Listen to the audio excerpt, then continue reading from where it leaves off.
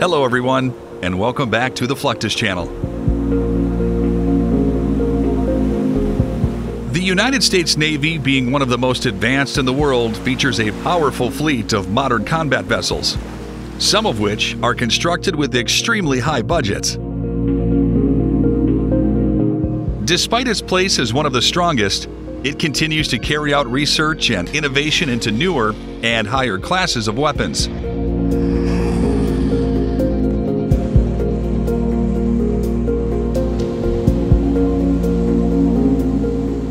In November 2011, the U.S. decided to build the Zumwalt class guided missile destroyer.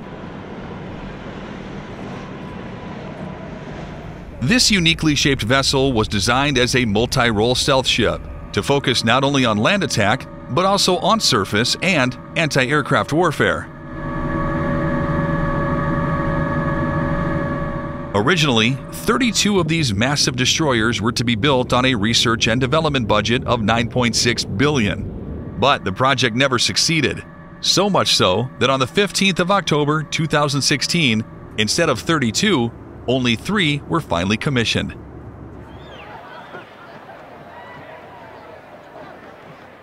In today's feature, let us explore the backstory of this unique class of naval vessels alongside a few other massive military projects whose original plans were never fully actualized. Stealth ships for naval gunfire support and anti aircraft warfare have been in existence for more than a century. However, the constant development of highly advanced and modern vessels has been the backbone of the U.S. Navy. But during the construction of the USS Zumwalt, it became clear that the construction project for this next generation destroyer class will not be fully achieved.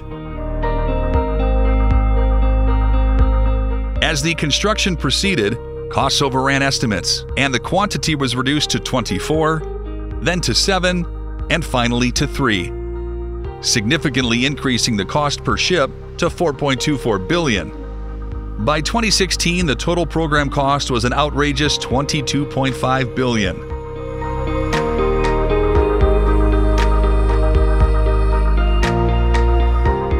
This dramatic per unit cost increase eventually triggered a breach and cancellation of further production of the Zumwalt class warships.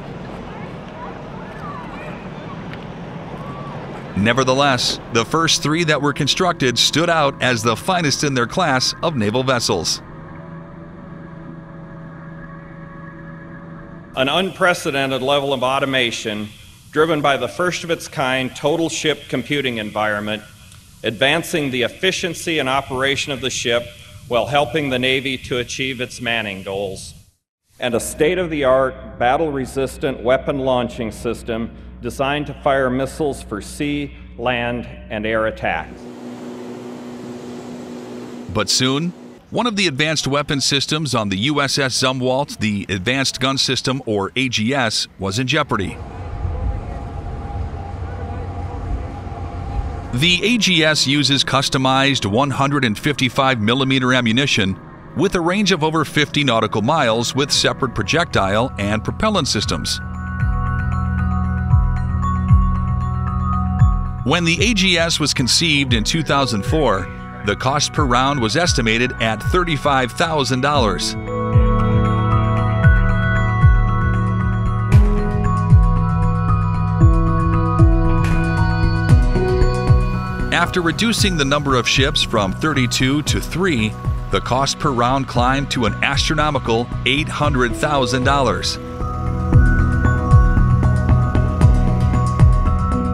While looking for a replacement for the advanced gun system, U.S. naval experts considered fitting the USS Lyndon B. Johnson, the third of the Zumwalt class ships, with a railgun, an electrically powered weapon. The large Rolls Royce gas turbines producing 78 megawatts would have been sufficient to deliver the extremely high electrical currents for such a weapon. But then, the U.S. Navy cut the funding for the railgun as well in 2021, leaving the Zumwalt class again without a viable weapon system. Meanwhile, The funding for the canceled destroyers of the Zumwalt class was redirected into the purchase of more Arleigh Burke class destroyers, which were the U.S. Navy's initial fleet of guided missile destroyers.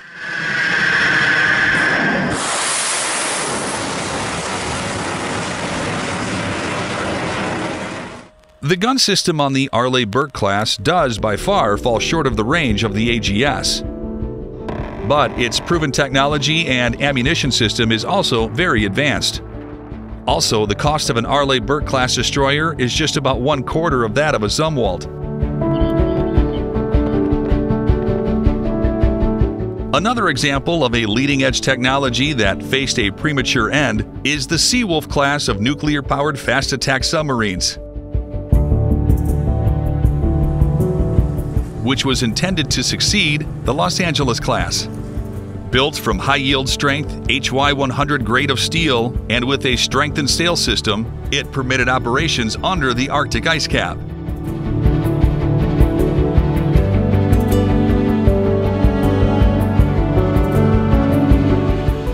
It was also equipped with the most advanced combat and sonar systems.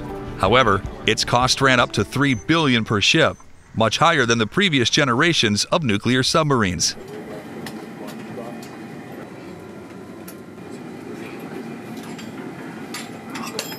When the Cold War ended and global geopolitics started to change, instead of 29 submarines that was originally envisioned, production of the Seawolf class was halted at the third submarine. Following this, the Navy opted for the development of a more cost effective vessel, which gave birth to the Virginia class. As of today, more than 20 Virginia class submarines have been launched, and another 19 already ordered by the U.S. Navy.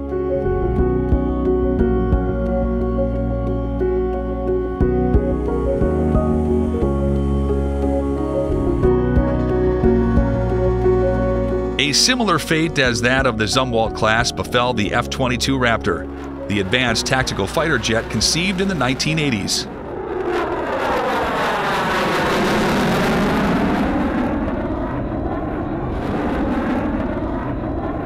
Born in an era of emerging threats by new Soviet air defense systems, the F 22 Raptor is a fast and highly maneuverable aircraft, capable of operating at very high altitudes and reaching a top speed of Mach 2.25.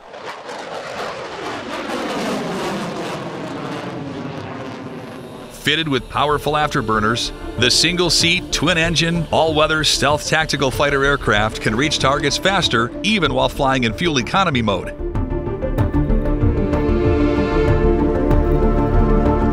Originally planned as a batch of 750 aircraft, the quantity was dropped to a mere 187 when the price per aircraft climbed from 35 million in 1985 to over 186 million in 2008. But the exploding costs were not the only problem of the F 22.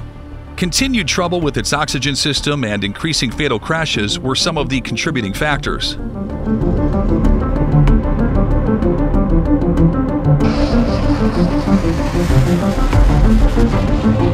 While any attempts to revive the F 22 program in later years have failed, a new star appeared at the horizon the F 35 Lightning II a single engine stealth multi role combat aircraft. Conceived as a joint strike fighter that could also be exported to allied nations, it had from the very beginning the potential to be produced in much higher numbers.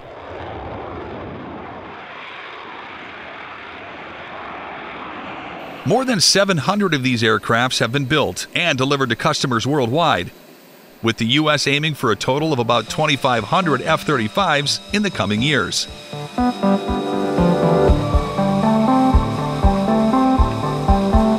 With an increased demand for this flying marvel across the world's defense forces, the cost of the aircraft has dropped from 221 million in 2007 to just 79 million apiece.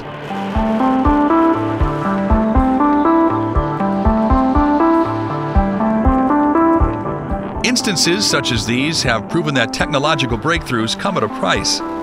And as the world continues to advance in their quest for more sophisticated weaponry, even abandoned projects like the Zumwalt class of destroyers may one day be taken up again, hopefully with greater and more cost effective improvements. That's the end of this video. I hope you enjoyed it. Make sure to subscribe to this channel so you don't miss any of our new content. See you next time.